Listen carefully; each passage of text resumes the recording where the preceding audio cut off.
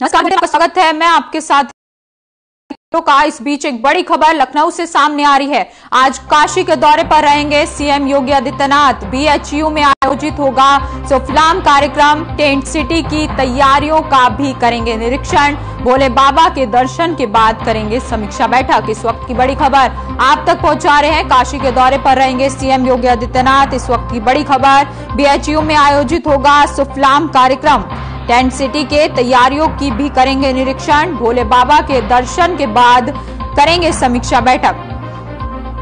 इस वक्त की बड़ी खबर और अहम जानकारी आप तक पहुँचा रहे हैं। सीएम योगी आदित्यनाथ आज काशीपुर जाएँगे और वहाँ पर भोले बाबा के दर्शन के बाद समीक्षा बैठक करेंगे। इस वक्त की बड़ी खबर आप तक पहुँचा रहे हैं। बीएचयू में आयोजित होगा सुफलाम कार्यक्रम, जहाँ पर सीएम योगी आदित्यनाथ पहुँचेंगे। टेंट सिटी की तैयारियों का भी निरीक्षण करेंगे। इस वक्त की बड़ी खबर आप तक पहुँचा रहे हैं। काशी के दौरे पर रहेंगे सीएम योगी आदित्यनाथ। बाबा विश्वनाथ के दर्शन करेंगे और उसके बाद समीक्षा बैठक भी करेंगे। बीएचयू में आयोजित होगा सुफलाम कार्यक्रम। उसमें भी शिरकत करेंगे। टेंट सिटी की तैयारियों का भी जायजा लेंगे।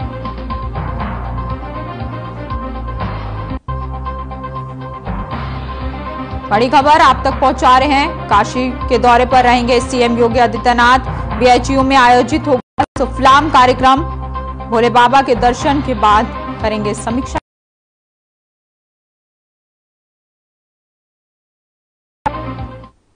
चले खबर बरेली में जिला अधिकारी ने अभियान की तैयारियों के संबंध में स्वास्थ्य विभाग, शिक्षा विभाग, ट्रैफ़िक विभाग के साथ बैठक की। चिकित्सा अधिकारियों को ज़रूरी दिशा निर्देश दिए और साथ ही सरकारी और प्राइवेट बसों समेत अन्य गाड़ियों के ड्राइवरों के स्वास्थ्य प्रशिक्षण के लिए हेल्थ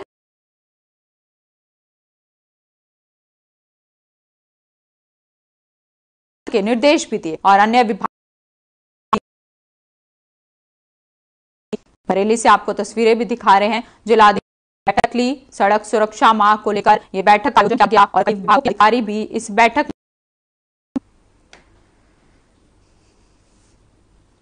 आपको दिखाई से अधिकारी शिवाकांत त्रिवेदी ने सड़क सुरक्षा माह अभियान की तैयारियों को लेकर एक बैठक का आयोजन किया और इस बैठक में कई विभाग के अधिकारी भी मौजूद रहे, जिनको चिकित्सा अधिकारी को लेकर ज़रूरी दिशा निर्देश भी दिए गए। और साथ ही साथ आपको बता दें कि हेल्थ कैंप लगाने के निर्देश भी जारी कर दिए गए हैं।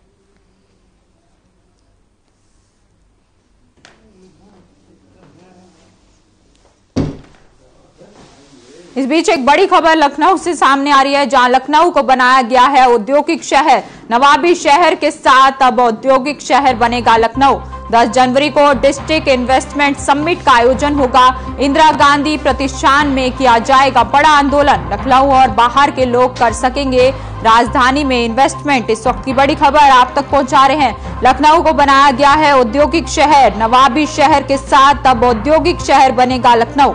दस जनवरी को इंडस्ट्री इन्वेस्टमेंट समिट का आयोजन किया जाएगा। आपको बता दें कि इंदिरा गांधी प्रतिष्ठान में किया जाएगा बड़ा आयोजन। 10 जनवरी को डिस्ट्रिक्ट इन्वेस्टमेंट समिट का आयोजन होगा। लखनऊ और बाहर के लोग कर सकेंगे राजधानी में इन्वेस्ट। जिलाधिकारी सूर्यपाल गंगवार ने शुरू की तैयारी। बड़ी खबर आप तक पहुँचा रहे हैं। लखनऊ को बनाया जाएगा औद्योगिक शहर। नवाबी शहर के साथ अब औद्योगिक शहर बनेगा लखनऊ। 10 जनवरी को डिस्ट्रिक्ट इन्वेस्टमेंट समिट का आयोजन होगा। इंदिरा गांधी प्रतिष्ठान में किया जाएगा बड़ा आंदोलन।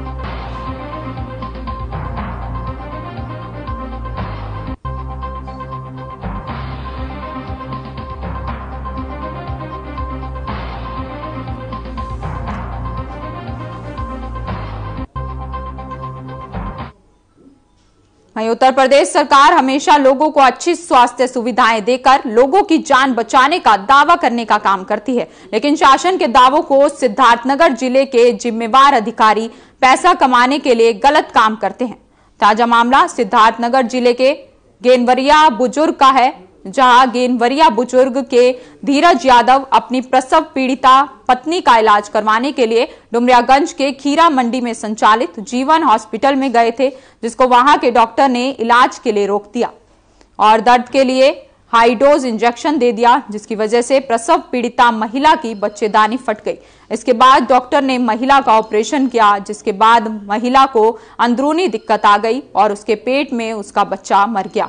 महिला की गंभीर हालत देखकर परिवार उसे इलाज के लिए आगे ले जाने लगे, लेकिन डॉक्टरों ने जबरन महिला को अस्पताल में रखकर उसका इलाज किया, जिससे दोनों बच्चे और महिला की मौत हो गई। अब पीड़ित परिवार ने न्याय की गुहार लगाई है।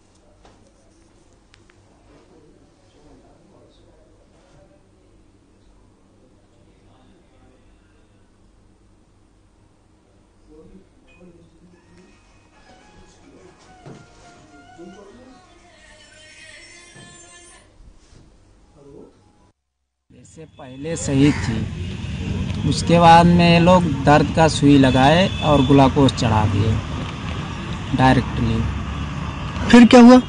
उसके बाद में उसका यानी दर्द बढ़ने लगा। उसके बाद में ये लोग ये चला गया था ऑपरेशन करके पहले चला गया था। मैं बोला पहले शुरू से ही बोल रहा था कि नहीं अब इधर रखने का ही नहीं। ज़बरदस्ती किए है क्या आपके साथ? ये लोग ज़बरदस्ती किया ही कितने पैसे लिए हैं आपसे? मेरे से लिया यानी दस हज़ार एक आठ हज़ार एक और दो अठारह सौ एक। नवजीवन हॉस्पिटल डुमरियागंज खीरा मंडी में मीडिया के द्वारा संज्ञानित हुआ है कि वहाँ पे ऑपरेशन के दौरान एक महिला की मृत्यु हो गई है जो बहुत ही दुख का विषय है। और ये भी आरोप लगाया जा रहा है कि वो हॉस्पिटल गैर पंजीकृत है। संज्ञान में आया है, इसकी जाँच करा करके, इसकी कमेटी गठित करके जाँच कराया जाएगा। मृत्यु का कारण क्या है? और अपंजीकृत चिकित्सालय है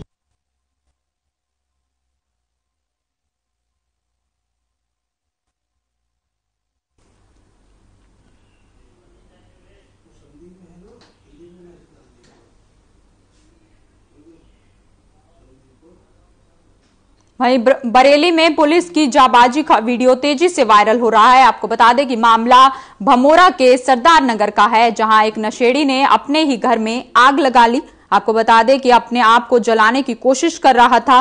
मामले की जानकारी मिलने पर थाना भमोरा प्रभारी दानवीर सिंह मौके पर पहुँचे। उन्होंने फायर ब्रिगेड को मौके पर बुला लिया। आनंद फानन में पुलिस ने युवक को बचाने के लिए घर में घुसने की कोशिश की तो युवक ने पुलिस के ऊपर ईट पत्थर फेंकने शुरू कर दिए। जिसके बाद भी अपनी जान की परवाह न करते हुए पुलिस ने किसी दूसरे की छत पर चढ़कर बहुत मुश्किल से युवक को आग से बचाया। पूरे मामले के किसी ने वीडियो बना लिया जो अब तेज़ी से वायरल हो रहा है। बरेली से आपको ये तस्वीरें भी दिखा रहे हैं, जहाँ पुलिस की जाबाजी का वीडियो तेज़ी से वायरल हो रहा है।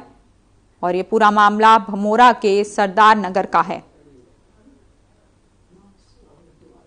पुलिस युवक को आग से बचाती हुई नज़र आ रही है। ये वीडियो तेज़ी से सोशल मीडिया पर वायरल हो रहा है।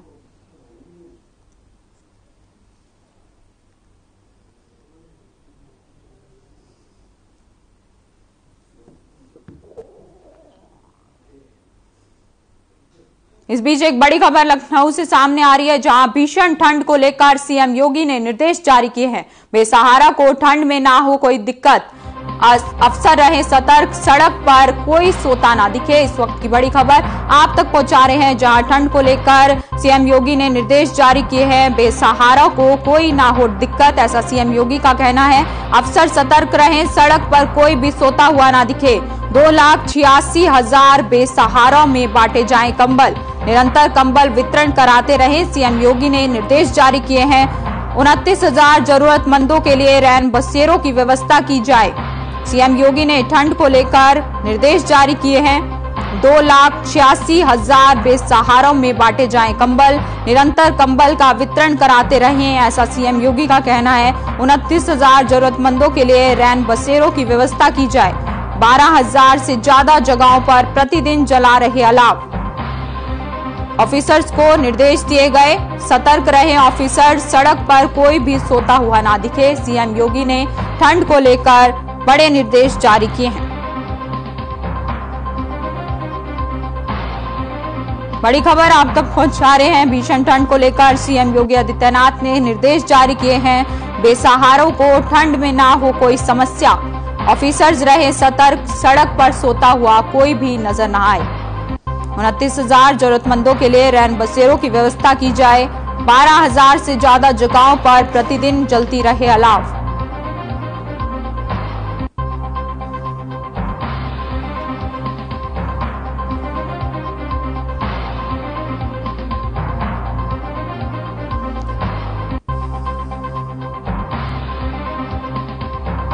बड़ी खबर आप तक पहुँचा रहे हैं लखनऊ से। भीषण ठंड को लेकर सीएम योगी आदित्यनाथ ने निर्देश जारी किए हैं। बेसहारा को ठंड में ना कोई हो समस्या। दो लाख छियासी हज़ार बेसहारों में बांटे कंबल। निरंतर कंबल वितरण का काम चलता रहे। उनतीस हज़ार जरूरतमंदों के लिए रैन बसेरों की व्यवस्था की जाए।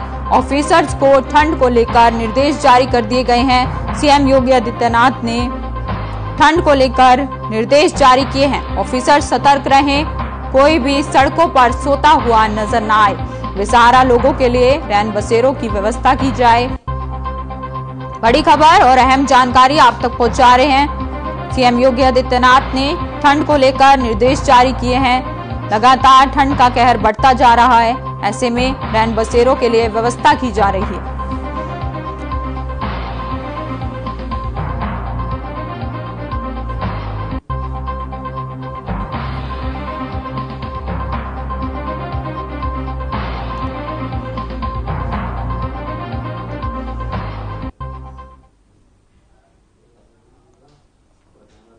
वहीं मोहब्बत जिला अस्पताल की लापरवाही सामने आई है। आपको बता दें कि अस्पताल में पीपीपी मॉडल पर डायलिसिस सेंटर को शुरू हुए, मात्र 10 दिन भी नहीं हुए और लापरवाही के चलते यहाँ आने वाले मरीजों को इसका लाभ नहीं मिल पा रहा है।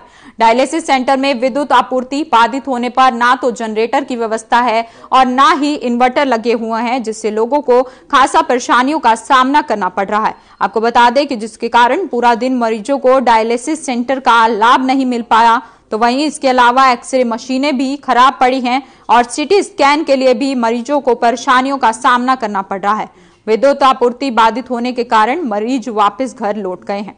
महोबा से आप तक ये तस्वीरें पहुँचा रहे हैं, जहाँ अस्पताल प्रशासन की बड़ी लापरवाही देखने को मिली है। आपको बता दें कि डायलिसिस सेंटर से मायूस होकर मरीज़ वापस लौट रहे हैं घर, क्योंकि डायलिसिस सेंटर में मशीनें खराब पड़ी हुई हैं। साथ ही एक्सरे की मशीनें भी यहाँ पर खराब हैं और सीटी स्कैन की मशीनें भी यहाँ पर खराब पड़ी हुई हैं, जिसको लेकर लोगों को खासा परेशानियों का सामना करना पड़ रहा है। आपको बता दें कि डायलिसिस सेंटर को शुरू हुए मात्र 10 दिन भी नहीं हुए और लापरवाही के चलते यहाँ पर मरीजों को स्वास्थ्य सुविधाओं का लाभ नहीं मिल पा रहा है। डायलिसिस सेंटर में ना तो कोई बिजली की यो व्यवस्था की गई है और ना ही कोई जनरेटर की व्यवस्था की गई है जिसके लेकर मरीजों को खासा परेशानियों का सामना करना पड़ रहा है।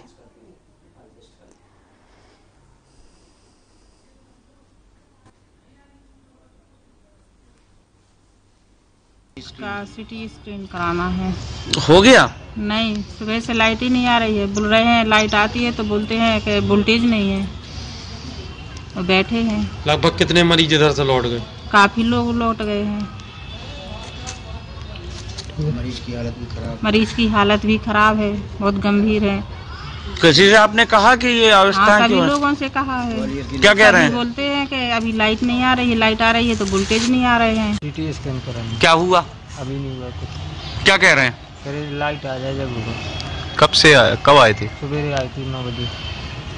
तो ऐसे में कितनी परेशानी हो रही है आप लोगों को? दिक्कत हो रहा है। दिक्कतें हो रही हैं। क्या लगता है कि अस्पताल में होना चाहिए? लाइट है जो चल रहा है ठीक है। लाइट होना चाहिए इन्वर्टर होना चाहिए। नहीं हो पाए डायलिसिस। जो पेशेंट लोग आज नहीं हो पाए उनको वेट करने के लिए बोला गया है। अगर शाम तक लाइट आती है तो अपन उनका करवाते हैं। और इनकेस नहीं आती तो उनको कल भी शिफ्ट कर देंगे। किस वजह से नहीं हो पा रहे हैं? ये पावर बैकअप की वजह से यहाँ पे परेशानी आ रही है। अस्पताल के पास भी बजट नहीं है। जनरली क्या होता है पावर बैकअप के लिए अस्पताल से जो डीजी रहता है यहाँ का जनरेटर वहाँ से ले लिया जाता है। लेकिन यहाँ पे बजट की समस्या सुनने में आई है अभी कि बजट नहीं है इनके पास, इसलिए नहीं हो पाया। है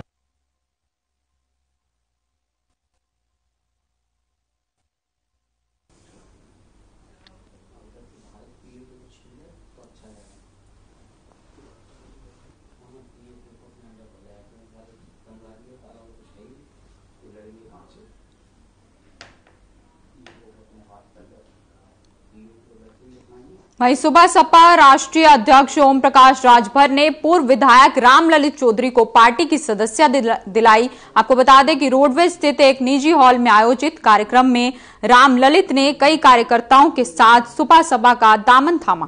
आपको बता दें कि वे तीन बार सपा से विधायक रह चुके हैं। राष्ट्रीय अध्यक्ष ओम प्रकाश ने उन्हें बड़ी ज़िम्मेदारी सौंपते हुए पार्टी का राष्ट्रीय उपाध्यक्ष घोषित किया है।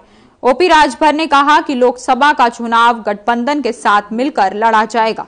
रामललित के पार्टी में आने से सुबह ज़िले में अधिक मज़बूत होगी। कार्यकर्ता लोगों के बीच में जाएँ और पार्टी की नीतियों का प्रचार प्रसार करें। बस्ती से आप तक ये तस्वीरें भी पहुँचा रहे हैं, जहाँ रामललित चौधरी ने सुबह सपा का दामन थाम लिया है। तीन बार सपा से विधायक भी रह चुके हैं और रामललित को राष्ट्रीय उपाध्यक्ष अब घोषित कर दिया गया है।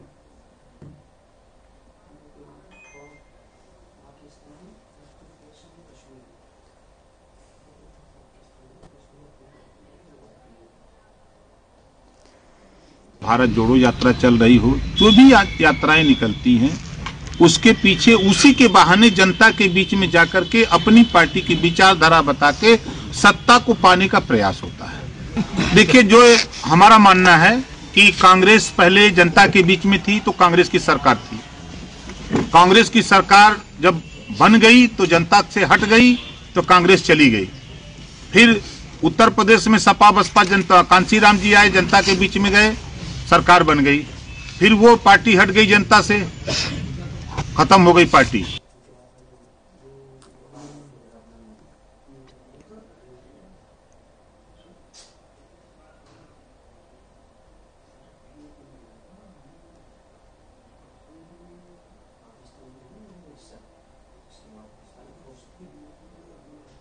वहीं फिरोजाबाद में कोर्ट का आदेश लेकर एक विवाहिता अपने ससुराल पहुँची, जहाँ उसने ससुराल जनों को कोर्ट का आदेश दिखाते हुए घर में जगह देने की मांग की। लेकिन ससुराल जनों ने उससे घर में रखने से साफ़ इनकार कर दिया। वह घर का ताला लगाकर फरार हो गए। इसके बाद विवाहिता ने ससुराल के गेट पर टाट की बोरी पर बैठकर रात गुजारी। आपको बता दें कि विवाहिता के मुताबिक कई वर्षों से ससुराल जनों से दहेज उत्पीड़न को लेकर मुकदमा न्यायालय में चल रहा था, जिसके चलते न्यायाधीश ने आदेश दिया था कि महिला को उसके घर में रहने की अनुमति प्रदान की जाए।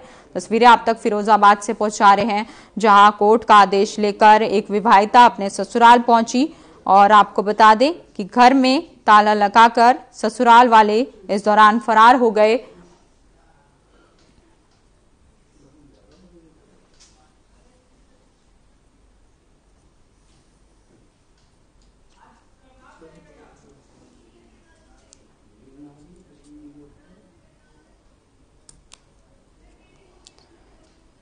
सर हमारे दहेज दहेज का हमारा मुकदमा दायर इन्होंने ही कराया था पहले सर। अब हमारे आदेश हो गए कोर्ट से वो भी मान्य नहीं हो रहा है। हमें घर में रहने नहीं देते हैं सर। हमारा जो खाना खर्चा बना आज तक नहीं मिला मुझे। और मेरा जब से जजमेंट हुआ था तब भी मैं रहने आई थी सर। इनने निकाल दिया फिर मैं दोबारा रहने आई हूँ। फिर भी इन लोगों ने ताला लगा के ऊपर भागे मुझे नीचे छोड़ के चले गए सर। कितने सालों से आपका मुकदमा चल रहा था? मेरा मुझे नौ साल हो गई सर। दो साल पहले मेरा जजमेंट हो गया था, तब भी मैं रहने आई। उससे पहले जब मेरा शुरुआत हुआ, तब रहने आई, तब इनने कोर्ट का केस खत्म करा दिया था सर। उसके बाद मैं साढ़े तीन, चार महीने यहाँ रही। उसके बाद में फिर इनने पीड़ित किया, फिर मैं दोबारा मुझे घर से निकाल दिया गया सर।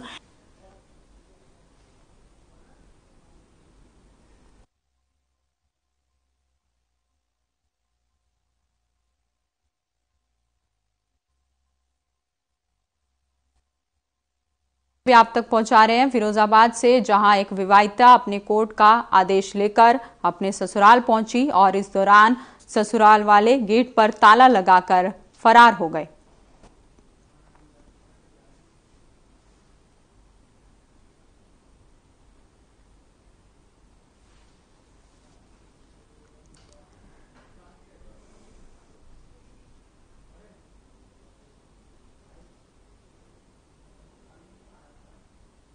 तस्वीरें भी आप तक पहुँचा रहे हैं। फिरोजाबाद से जहाँ एक विवाहिता महिला कोर्ट का आदेश लेकर अपने ससुराल पहुँची।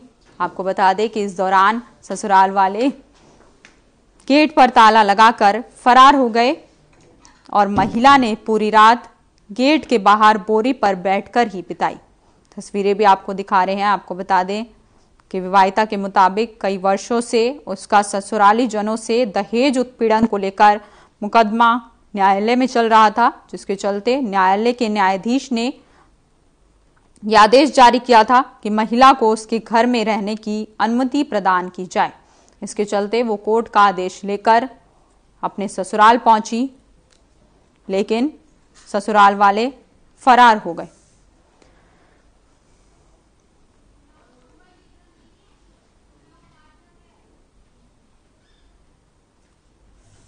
तस्वीरें भी आप तक पहुँचा रहे हैं। फिरोजाबाद से कोर्ट का आदेश लेकर विवाहिता अपने ससुराल में पहुँची। जहाँ घर में उनको ताला लगा हुआ मिला और ससुराल वाले फरार हो गए।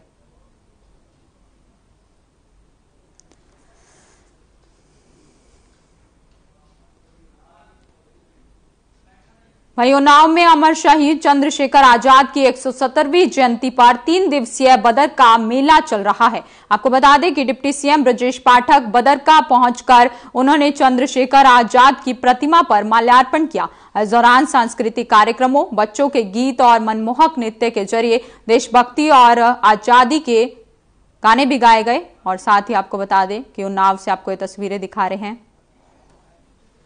को श्रद्धा सुमन अर्पित करता हूँ। आज जिस ढंग से यहाँ पर कार्यक्रम का आयोजन हुआ है, बड़ी संख्या में उनके अनुयायी उनको श्रद्धांजलि देने के लिए यहाँ इकट्ठा हुए हैं। प्रतिवर्ष यहाँ मेला लगता है और हम लोग ऐसे ही उससे प्रतिभाग करते रहे हैं। श्रद्धे आज़ाद जी ने पूरी दुनिया में भारत माता को आज़ाद कराने के लिए जो संदेश दिया था, आज नौजवान उनको सब इकट्ठा होकर के प्रणाम करते हैं बंधन करते हैं, नंदन करते हैं। उन्होंने हँसते हँसते अपनी प्राणों की आहुति भारत माता के लिए देने का काम किया। और आज भारत आदरणीय प्रधानमंत्री नरेंद्र मोदी जी की अगुवाई में भारत माता को विश्व का दर्जा दिलाने के लिए लगातार काम कर रहा है।